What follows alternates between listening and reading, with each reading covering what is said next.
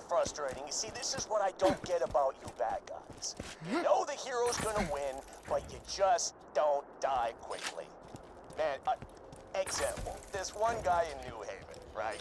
City's burning, people are dying left and right, yada yada yada. This jackal rushes in with a spoon. a freaking spoon. And I'm dying laughing, right? So I scoop out his stupid little eyeballs with it, his kids are all, Wah! and I,